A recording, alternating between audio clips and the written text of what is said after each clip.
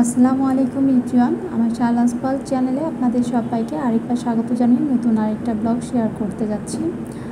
আশা করছি আজকের এই ব্লগটা আপনাদের কাছে ভালো লাগবে। এই ব্লগটা আমি তৈরি করেছিলাম গত বুধবারে। তো বুধবার দিন বিকেল প্রায় পৌনে ছটার দিকে আমি, আমার ছেলে দুজনে মিলে মানে মা, ছেলে দুজনে মিলে একটা জায়গায় যাচ্ছি। আর কোথায় যাচ্ছি, কেন যাচ্ছি সেটা জানতে হলে অবশ্যই কিন্তু আপনারা পুরো ভিডিওটা দেখবেন। আর ভিডিওর শুরুতে সবাইকে ছোট্ট একটা রিকোয়েস্ট করতে চাই। আমার চ্যানেলে যারা নতুন আসছেন এবং আমার ভিডিওগুলো দেখছেন, যদি আমার ভিডিও ভালো লাগে তাহলে অবশ্যই আমার চ্যানেলটি সাবস্ক্রাইব করবেন। আর যারা অলরেডি সাবস্ক্রাইব করেছেন, তাদেরকে অসংখ্য ধন্যবাদ। তো আমাদের বাসার কাছ থেকে রিক্সা নিয়ে আমরা সোজা চলে এসেছি মাতৃ ও শিশু স্বাস্থ্য প্রশিক্ষণ প্রতিষ্ঠানে। আর এখানে আসার উদ্দেশ্য হচ্ছে আমার ভাগ্নি, আমার বড় বোনের মেয়ে। ওর হচ্ছে ডেলিভারি হয়েছে। ওর আলহামদুলিল্লাহ একটা মেয়ে বাবু হয়েছে। আর আমি হচ্ছে হ্যাঁ আলহামদুলিল্লাহ আমি নানু হয়ে গেছি।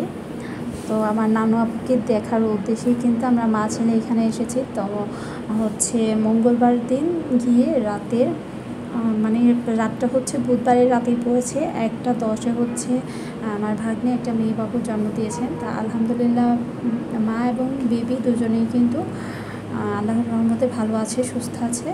তো এটা হচ্ছে হসপিটাল এরিয়াটা, এটা একটা সরকারি হসপিটাল প্রতিষ্ঠান। আসলে এই সরকারি হসপিটালগুলোতে আসার একটাই মাত্র কারণ, এখানে হচ্ছে নর্মাল ডেলিভারি করা হয়। তো যে প্রাইভেট ক্লিনিকগুলো আছে সেগুলো সেগুলোতে গেলে মানে বেশিরভাগ সময় হচ্ছে প্রাইভেট ক্লিনিকগুলোতে টাকার জন্য ওনারা হচ্ছে সিজার করে। বিভিন্ন ধরনের সমস্যা দেখিয়ে বাট এই ধরনের যে হসপিটালগুলো আছে সেগুলোতে আসলে কিন্তু নর্মাল ডেলিভারির সম্ভাবনাই বেশি থাকে। তো সেজন্য আমার ভাগ্নিকে আসলে এইখানে নিয়ে আসা। আর এই যে এটা হচ্ছে হসপিটালের মেন গেটটা, যেটা এখন আপাতত বন্ধ আছে। সকালের দিকে এইদিকে এদিকটা খোলা হয়। আর এখন আমরা জরুরি বিভাগ মানে বাহিরে যে আরেকটা গেট থাকে, সেই দিক দিয়ে আমি আর সালমান হচ্ছে উপরের দিকে যাচ্ছি। তো আমার ভাগ্নিকে তিনতলায় রাখা হয়েছে। আমরা তিনতলাতে যাব। আর এই যে নিচে হচ্ছে গাড়ি রাখার গ্যারেজ। বড় একটা এরিয়া জুড়ে। আর হসপিটালটাও ভীষণ বড়। আসলে বড় হলেও এখানকার যে স্টাফ এবং নার্স তাদের যে মনটা বড়, এমন কিন্তু নয়। তো কিছু কথা আপনাদের সাথে শেয়ার করব। আর আমরা হচ্ছে লিফটের দিনে যাব। তো লিফট আসার জন্য আমি আর সালমান অপেক্ষা করছি। আর এখন দেখতে পাচ্ছেন হসপিটালটা কিন্তু একদম ফাঁকা, যেহেতু বিকেল টাইম আর এই প্রতিষ্ঠানটা একেবারেই কিন্তু নতুন। রিসেন্টলি হবে মানে দু তিন বছর হবে এটা হচ্ছে ওপেন করা হয়েছে। বাট সেরকমভাবে এখনও কিন্তু পেশেন্টের অত আনাগোনা নেই। আর সকাল টাইমে মোটামুটি অনেক পেশেন্ট আসে। আর যেহেতু এখন বিকেলবেলা, তো পেশেন্টের আনাগোনা কম। আমরা হচ্ছে লিফটে লিফট করে চারতলায় চলে গিয়েছিলাম মনের ভুলে তো একতলা পায়ে হেঁটে নিচে যাচ্ছে। আর সালমান দেখুন, আমার আগে আগেই চলে যাচ্ছে। তো আজকে এখানে আসার পর সালমান কিন্তু একটু বিরক্ত করে নাই আসলে বিরক্ত না করারও একটা কারণ আছে। আমার ভাগ নিয়ে যায়ের ছেলে এসেছিল। ওর সাথে ও এখানে প্রচুর খেলাধুলা করেছে। তো ওর মুডটাও ফ্রেশ ছিল, যার কারণেও কিন্তু বিরক্ত করে নাই তো এই যে আপনাদেরকে নিয়ে আসলাম আমার নানু আপুর সামনে। দেখতেই পাচ্ছেন আমার নানু আপুটা ঘুম ঘুমাচ্ছে এখনও আর আমার নানু আপুর জন্য সবার কাছে দোয়া চাচ্ছে। আমার আপুর জন্য সবাই দোয়া করবেন। আল্লাহ যেন আমার আপুটাকে নেখায় দান করে। সুস্থ জীবন সেই সাথে উজ্জ্বল ভবিষ্যৎ দান করেন।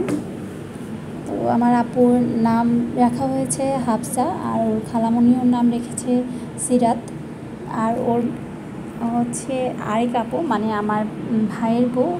আমার ভাইয়ের বউর নাম রেখেছে ফাইজা। তো নামগুলা কেমন হয়েছে আপনারা অবশ্যই কমেন্ট বক্সে কমেন্ট করে জানাবেন। তো এ তো হওয়ার পর থেকেই নাকি ঘুম আসছে। আমরা আসছি, আসার আসার পর, আমরা আসার পর প্রায় অনেকক্ষণ এখানে ছিলাম চার পাঁচ ঘণ্টার মতো। তো চার পাঁচ ঘন্টায় একবার জেগেছিল। আর এই যে দেখছেন, এটা হচ্ছে অবজারভেশন রুম আর এখানে হচ্ছে পেশেন্টের সাথে কোনো গার্জিয়ানকেই থাকতে দেওয়া হয় না মানে অ্যালাউ নেই।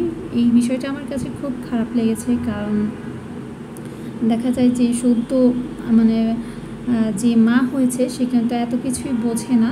তাকে কিন্তু টেক কেয়ার করার জন্য প্লাস বেবিকে রাখার জন্য ওনার সাথে চব্বিশ ঘন্টায় একটা মানে যে কোনো কাউকে দরকার বাট এই হসপিটালটায় সেটা অ্যালাউ করে না। যখন ডক্টর আসে, সবাইকে হচ্ছে এই রুম থেকে বের করে দেওয়া হয়।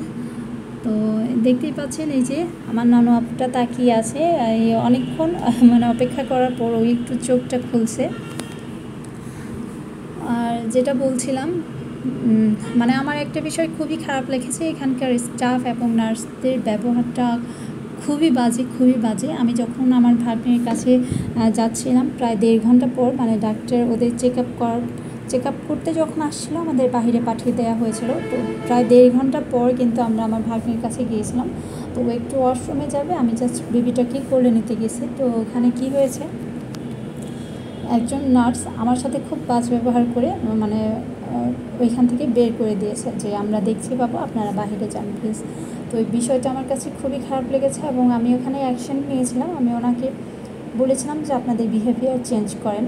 মানে কোনো হসপিটাল স্টাফ বা নার্সদের কাছ থেকে এরকম ব্যবহার আশা করা যায় না। তো এটা খুবই দুঃখের বিষয় আর খুবই কষ্টকর আমার খুব খারাপ লেগেছে।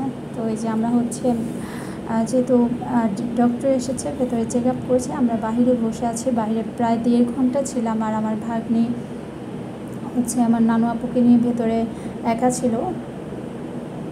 তো বাইরে বসেছিলাম, আর ভাবতেছিলাম যে ও কী করছে একা একা, ও ছোট, আর ছোট একটা বেবি হয়েছে, অনেক কিছুই বোঝে না।